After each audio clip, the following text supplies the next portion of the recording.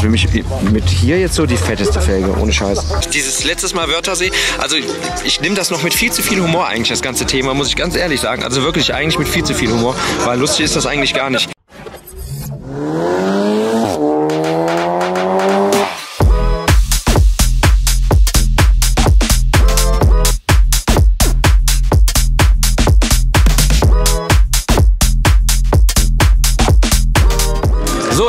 Wunderschönen guten Tag, meine sehr verehrten Damen und Herren. Also, dieses wunderschöne Gerät äh, läuft wieder. Und zwar, keine Ahnung, es ist ultra nervig. Äh, Musik ist auch viel zu laut gerade. Also nicht die Musik ist nervig, aber wahrscheinlich ist es deswegen ein bisschen für euch vom, äh, von der Lautstärke her ein bisschen problematisch. Aber da müssen wir durch. Und zwar äh, war ja die Antriebswelle am Arsch. Ich habe gedacht, die wäre gerissen, aber die ähm, Schrauben haben sich wieder gelöst. Zum zweiten Mal passiert. Wir haben sie letztens richtig eingeklebt. Trotzdem lösen die sich. Ich weiß nicht warum. Das haben wir aber gestern ähm, auf dem Anhänger direkt noch äh, wieder fixen können. Das heißt, wieder kurz angezogen. Jetzt rollt auch der Bus wieder, Gott sei Dank. Und äh, ihr könnt es ja schon sehen, wir haben wirklich traumhaftes Wetter. Wir sind jetzt gerade auf der Simonshöhe, auf der letzten, also wirklich letzten XSK Night. Äh, hier war polizeitechnisch überhaupt gar nichts. Gestern, wie wir natürlich erst spät weggefahren sind, ähm, waren die auch schon weg. Also die haben jetzt nicht mehr auf mich gewartet quasi. Das, das wäre auch noch zu geil gewesen, wenn die auf mich gewartet hätten. Aber hier ist komplette Ruhe. Das war aber auch die letzten äh, Male auch so. Simonshöhe war immer Ruhe. Wir hatten natürlich ein bisschen Angst, gerade ihr seht das ja hier, ne, ihr kennt das ja mit der Wiese, dass das unfucking fassbar äh, unparkbar wird hier. Aber es hat echt funktioniert. Es hat gestern noch mal, also gestern den ganzen Tag geregnet, aber heute jetzt nicht mehr. Jetzt kommt die Sonne raus, es ist sehr kalt, wir haben hier um die 7 Grad hier oben. Aber geil, ich werde versuchen, Leute. Ich versuche euch jetzt ein paar Autos zu zeigen, die ich die ganze Saison noch nicht gezeigt habe. Das fällt aber sehr, sehr schwer, weil XSK Net natürlich immer die gleichbleibende, äh, ultra krasse Qualität äh, hat. Und natürlich sich da auch ja, relativ häufig die Autos dann auch wieder dann doppeln. Aber ich mache jetzt eine kleine Runde mit euch. Wir latschen jetzt erstmal ein bisschen, ich versuche mal ein bisschen von der Musik weg, damit das tonmäßig geht. Und ich bin ein bisschen außer Atem, muss ich euch sagen. Und vor allen Dingen, auch in dieser Kombination ne, als 40 Jahre Jubiläumsmodell, war der mit Performance-Parts einfach unfucking schön. Was ich aber gerade gar nicht weiß, ich sehe gerade mein, also ich hatte die Parts ja auch beim TTS, ich weiß gar nicht, ob die bei den Performance-Parts jetzt wirklich dabei waren oder ob der die zusätzlich gemacht hat oder ob die nur beim Yubi-Modell dabei waren. Weil bei den normalen TTRS, als wenn du die mit Performance-Parts bestellt hast, die neuen, die Facelift, da waren die Dinger, glaube ich, nicht dabei. Aber für mich immer noch ein traumhaftes Auto, ne? Ich bin auch nach wie vor, boah, ja, schwieriges Thema. Ich bin immer noch am überlegen, ob ich mir noch mal irgendwann eine hole. Was auch geil bei dem war, war natürlich auch die Innenausstattung. ne? Ich weiß gar nicht, ob ihr das erkennen könnt. Hier ist natürlich auch noch mal reingeschickt 40 Jahre Quattro, Jubiläumsmodell. Hinten sieht man nicht, weil es abgedunkelt ist. Natürlich auch die Strebe drin. Einer der krassesten Parts. Also muss man ganz klar sagen, was die beim TT damals gemacht haben. Mehr geht nicht. Geht's auch direkt weiter. Auch ein sehr, sehr schönes Auto. Ich finde die Farbe übrigens sehr nice. Die kommt, glaube ich, auf der Kamera gar nicht so gut rüber, ne? muss man sagen. Audi A3, auch nach wie vor, auch gerade das Modell, ne? 8P, immer noch ein wunderschönes Auto. Auch immer eine Überlegung wert, den als RS3 zu holen. Ist wirklich mega, mega geil. Was natürlich hier immer sehr, sehr ungünstig ist, das sieht man jetzt hier auch wieder. natürlich auf so einer Wiese. Ja, das haben wir damals auch mit dem Flatnus gehabt. Stehen die Dinger natürlich immer ein bisschen schief und schäl und krumm, ne? Aber es ist, wie es ist. Nehmen wir mal das Thema Mercedes. Mercedes aber dieses Jahr sehr, sehr wenig vertreten, muss ich sagen. Also BMW ne, sind mittlerweile so krass. Das habe ich ja schon die letzten Male gesagt, das fällt mir total auf. Aber C-Klasse, also Fitment natürlich total asozial, ne? Brauchen wir gar nicht drüber zu reden. Brutal. Und mittlerweile wird einem auch immer mehr bewusst, warum die uns da natürlich auch oder warum die keinen Bock haben. Das ist ne, gar keine Frage. Aber Fitment, ah, es geht schon. C-Klasse, sehr, sehr schönes Auto. Nicht mein Auto, sagt, wisst ihr, aber sehr, sehr geiles Auto. Und jetzt sehe ich wieder ein 260e. Boah, geil, Junge. AMG-Räder. Ähm, boah, poliert finde ich die sehr, sehr nice, muss ich sagen. Aber ihr seht es auch. Leider, leider, leider. Also was heißt leider? Aber es ist bei dem so. 124er, sehr, sehr, sehr undankbar, was die äh, Kotflügel vorne angeht. Hinten geht relativ viel rein. Vorne bekommt man nicht so viel. Deswegen, wie jetzt in dem Fall, wird dann einfach gefittet.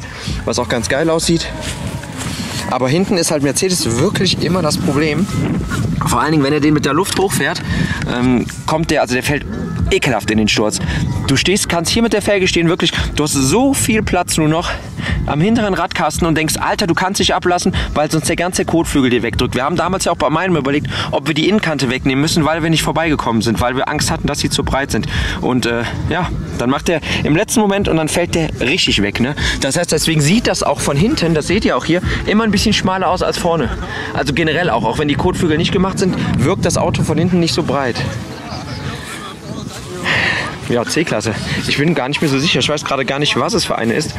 Ob es, boah, ich bin bei der, bei bei der C-Klasse bin ich gar nicht im Thema. War das W200, was ist das denn gewesen? 203 oder 207? Schreibt das mal in die Kommentare, wenn ihr das gerade direkt auf dem Schirm habt. Aber mittlerweile auch irgendwie nice, ne? Also finde ich, das Ding als Automatik. Natürlich Farbe ist jetzt nicht so meins. Aber das ist schon cool, das Teil. Vor allem sowas fährst du auch daily einfach, ne? Das ist halt auch das Geile. Da vorne ist noch ein, ich muss mit euch hochgehen, 124er. Aber, ähm, als Coupé, die ja ekelhaft von den Preisen mittlerweile sind. Vor allen Dingen auch als 300er. Wahnsinnig teuer geworden. Auch mega geile Teile. Dreiteilige Uhrzeit drauf in, was hat der, 19 Zoll? Nee, Quatsch, keine 19, 18 oder was, was hat der da drauf? Ah ne, 17 Uhr, 215, 40, 17. Krass. Das war bei Mercedes, das ist immer das, was ich am geilsten fand, ne? dass die alle keine B-Säule haben. Das sieht so cool aus. Ja, auch innen drin. Mega cooles Ding. Sehr nice. Ich mache heute den Wanderer. Das wirkt auch so gigantisch hier, ne, Leute? Wahnsinn. Ich gehe jetzt einfach mit euch hier so drüber. Du kommst jetzt live.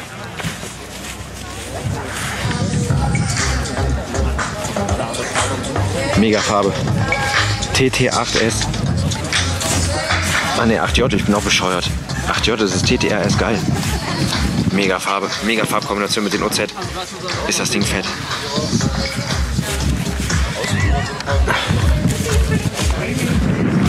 Was fährt der für ein Reifen da drauf? Sehe ich gerade gar nicht. Ein Nankan, ein guter Nankan. Ich sehe es nicht.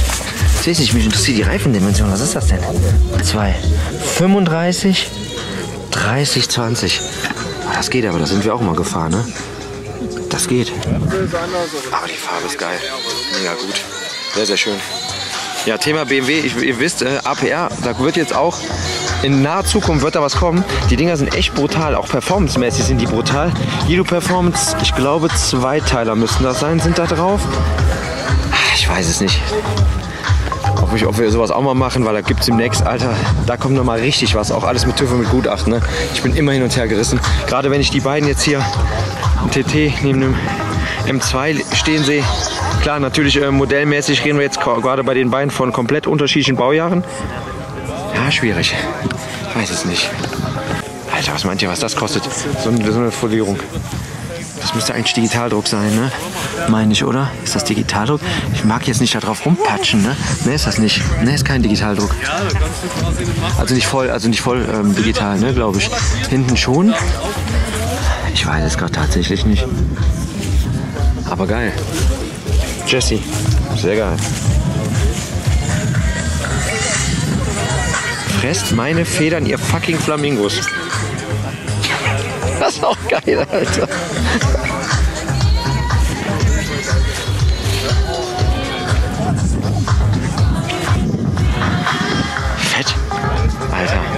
Ist richtig gut.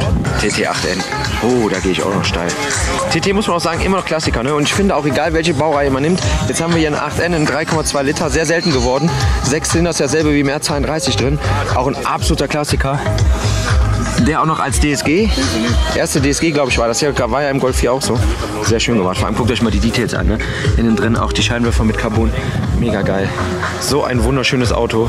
Aber halt auch maximal undankbar, genau wie Golf 4, was das Thema Tieferlegen angeht. Ne? Achsen und sowas ist richtiges Scheiße. Wirklich. Mag kein Mensch. Aber mit den dreiteiligen BBS drauf ist das ein wunderschönes, wirklich ein wunderschönes Auto. Wollte ich früher mal als Cabrio haben, so ein Ding. Ich werde wieder so ein bisschen äh, TT nervös, sag ich wie es ist. Ja, Golf 1, absolute Ehre. Wunderschönes Auto. Stand gestern auch äh, beim Nick, glaube ich, habe ich das Auto schon gezeigt. Ich weiß es nicht. So, und das bist du doch hier. Das ist doch der allerechte. Was ist das denn? Zitrön? Wie, wie heißen die Dinger nochmal? Hilf mir mal ganz kurz. Das ist ja geil, Alter. Originales Luftfahrwerk, glaube ich, haben die Dinger gehabt, ne? Meine ich. Fett. Geil. Hier wird jetzt der Sven wieder nervös werden. Da geht ihm auf jeden Fall das Herz auf. Ich, ich finde es ja, ne, allein wegen hier Fast and Furious finde ich es ja schon geil. Also gar keine Frage. Aber wenn ich überlege, was die Dinger mittlerweile kosten, das ist ja ekelhaft, ne? Da denkst du nur, Porsche geht so ne, in die irgendwie diese brutale Preis oder ins brutale Preisniveau. Aber die sind ja mittlerweile auch komplett wahnsinnig. Komplett.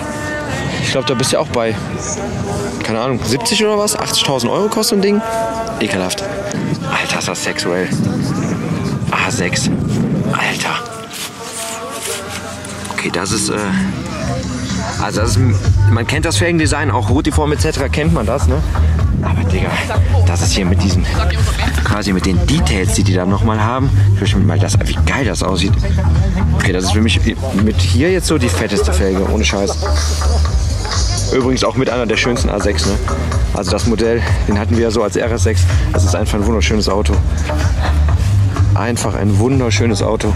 Farbe ist jetzt nicht so meins. Ne? Ich bin bei Audi Gen rein mit dem Blau. Da bekommst du mich nicht mit. Aber so sieht das Ding echt brutal aus. Wenn es aber um das Thema Farbe geht, geht es direkt zum Golf 1 weiter. Dieses Grün, ich glaube, das wollte früher kein Mensch haben. Es ist so wunderschön. So wunderschön. So, es sind keine Porsche C2, sondern es müssten Porsche Gullideckel sein. In, boah, ich glaube 8 oder 9 mal 16 waren die immer. Glaube ich, irgendwie sowas. So geil. Das war, das war früher, das, so, so wurden die Dinger immer getuned. Auch auf Golf 3 wurden die oft gefahren. Ne? Golf 3, Golf 2. Mega schön. Oh, Golf 1 sehe ich, auch, sehe ich mich auch noch mal drin. Oh ja. Golf 2 GTI 16V, das müsste sogar Originallack sein. Ja, auf jeden Fall.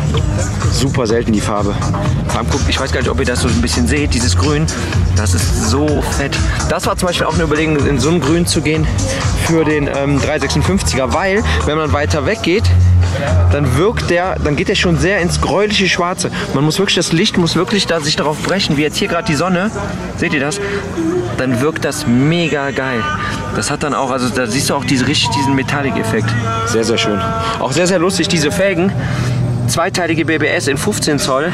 Alter, die haben wir früher eingetauscht gegen irgendwelche, keine Ahnung, schlag mich tot, Borbit, was war Borbit B oder ne, Borbit, Borbit B oder irgendwas. Auf jeden Fall in irgendeine 9x16 Schmutz, den kein Mensch heute mehr tauschen würde. Also die Dinger sind so selten geworden. Die sind wirklich, die hat man gekauft für 200, 300 Euro, den ganzen Satz. Ne? Die, sowas hätte ich gerne bei mir auf meinem Golf 2. Aber da sind es halt auch zu schade für. Wenn du die kaputt fährst, hast halt auch verloren. Aber super schönes Auto. Vor allem in so einem Zustand, ne? Mega geil. Fett. Sehr, sehr fett. Ja, hier auch klassisches Tuning. Ich glaube eh, das muss man auch, also wenn man jetzt in absehbarer Zukunft, sage ich mal, noch viel, viel mit äh, Autos machen möchte, was ist mit dir? Das ist übrigens, äh, du bist eigentlich mein Retter. Also, eure, eure, eure, ganzen Jungs, ne? Ja, eigentlich wir als Gruppe, ne? Wir haben gestern, das war so geil, ne? Wir sind, äh, die haben mich gestern abgeschleppt, nachdem ich dann eigentlich, eigentlich habt ihr mir das angeboten, um von der Polizei abzuhauen. Genau. Das war der Plan. Ja. Dann hat die Antriebsstelle sich verabschiedet und wir so, alter Fuck. Und dann sind wir wirklich noch, ähm, dann haben die mich mit einmal zum Hotel, eigentlich war der Plan. eigentlich wollten wir das bei genau. unserem Hotel machen. Genau. Und dann hat aber geschüttet wie Sau. Es hat geregnet aus Eimern. Und dann haben wir gesagt, komm, Tankstelle. Machen wir an der Tankstelle. In der Waschstraße. Wirklich. Die hatten so eine Waschbox, ne? Und da wurde dann, war mega geil. Ja, und, und, und, danach reden wir nicht mehr drüber. Genau, was, alles was nach der Böse. Reparatur ab 21 Uhr, hört, hört ja auch in unseren Stimmen, schwierig. Böse. Aber das war Wörthersee für mich. Gestern, das genau, war Wörthersee. Das, ja, ja. das ist auch so eine Sache, da erinnerst du dich noch in zwei so. Jahren. So. Wenn man zwar nicht mal hier, aber dann aber irgendwo anders. Irgendwo anders. Polen oder so vielleicht. Sehr schön, guck mal hier. Sehr, sehr schön. Audi S3. Oh mein Gott. Dreiteilige OZ da drauf. Oh, sehr schön. Den fand ich leider von innen nie so schön. Ich fand den Golf 4 vom Innenraum komischerweise immer schöner. Aber ich finde den von außen ist der um Welt noch mal geiler als ein Golf 4. Und ihr wisst, ich bin so ein Golf 4 Kind, ne? Aber dieses Ding, boah, ist das geil. Vor allem, ich kann mich noch daran erinnern, die waren ja, glaube ich, mit 209 PS sind die rausgekommen. Und einmal, also das war das ähm, erste, die erste Modellreihe hatte, glaube ich, 209 PS. Und dann meine ich auch wie TT 224 oder 225, ne? Weil ich, man könnte, ich denke manchmal, man kann keine Autos mehr bauen. Also ist ja alles schon gemacht, ist ja alles langweilig. Aber es, kommt, es gibt so viele Autos, die ich noch gerne machen würde. Also wirklich so viele. Oh, auch eine wilde Kombi mit dem Mint. Das ist mal eine Zeit, muss man sagen, ist das wirklich extrem im Kommen gewesen, ne? dass die äh, Cabrios auch sich hinten Bügel, Clubsportbügel reingemacht haben. Auch immer sehr, sehr lustig, dass man da oft gefragt wird, also oder Leute einen drauf ansprechen, äh, das würde ja zum Thema Sicherheit gar nichts bringen, warum man dann sowas verbaut. Das muss man auch gar nicht verstehen, weil wir machen das oder die, sagen wir mal so, diese Tuning-Szene macht das, weil sie einfach Bock drauf haben und weil es einfach um die Optik geht. Ich meine, man muss ja ehrlich sagen, äh, so wie wir Felgen fitten und so wie wir auch Radreifenkombinationen ähm, auf den Autos fahren, hat ja nichts mit Performance oder mit irgendeinem Fahrkomfort oder irgendwas Gutem zu tun. Aber wir machen es trotzdem, ne? War so geil, ich könnte euch einfach hier nur rüberlaufen. Einfach nur so ein bisschen Emotionen mitgeben. Es ist einfach, es ist schön, traurig, gut, alles. Schlimm. Das ist das letzte Mal. Das ist wirklich sehr, sehr schlimm. So, es ist Zeit, Goodbye zu sagen. Goodbye Wörthersee. Ihr seht, alle reisen gerade schon ab. Große Aufbruchstimmung. Es war ein tolles Event. Äh, ja, es war super, super, super. Äh, also wir hatten super Glück mit dem Wetter, aber jetzt wird es echt richtig kalt. Also ich glaube, es sind nur noch 5 oder 6 Grad. Ihr habt uns wirklich restlos ausgekauft. Wirklich vielen, vielen Dank an alle Leute, die da waren. Äh, ich packe jetzt zusammen. Vielleicht hören wir uns nochmal in Ruhe in dem Video, wenn ich mir ein bisschen Zeit genommen habe. Ciao! Also bis später wahrscheinlich. So ihr Lieben, ich bin äh, mittlerweile wieder, ja, heile kann man schon sagen, äh, zu Hause angekommen.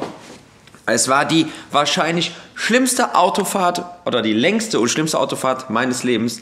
Äh, Dauerregen, also erstens T2 auf dem Anhänger hinten drauf, was ja theoretisch kein Problem ist, aber diese Kilometer sehr anstrengend. Dauerregen, ein Unfall nach dem anderen. Das war die längste Fahrt. Ich habe fast 18 Stunden jetzt knapp gebraucht, äh, um nach Hause zu kommen.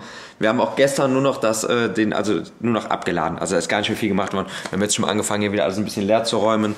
Äh, Alter, wilder, wilder Wörthersee-Trip, kann ich euch sagen. Hinfahrt, glaube ich, 15 Stunden, Rückfahrt fast 18.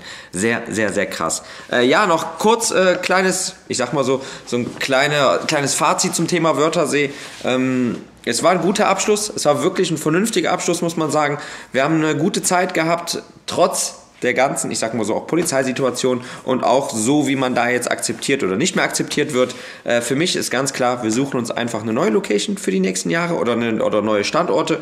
Mal schauen, wie sich das mit Wörthersee die nächsten Jahre noch entwickelt, ob da irgendwann das Interesse dann doch wieder so groß ist, dass man wieder zurückkommen soll. Warten wir mal ab. Ich denke das eher nicht. Äh, ist aber einfach so, sollte man jetzt nicht zu viel rumheulen. Äh, ja, das war das letzte tatsächlich Wörthersee-Video auf jeden Fall erstmal für dieses Jahr, wahrscheinlich auch für nächstes Jahr. Ich bedanke mich trotz alledem für die ganzen Zuschauer, die immer die ganzen Wörthersee-Videos verfolgt haben.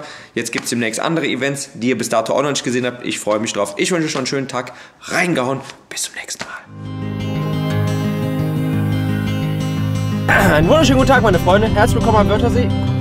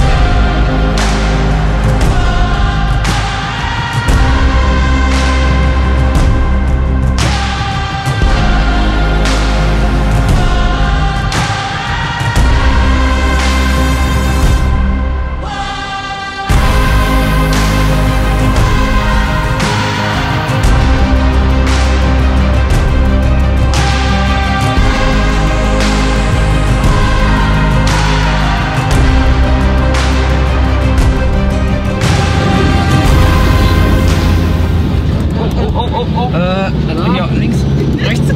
Hart alle. Hier ist schon wieder so neblig. Wir haben so einen Knall.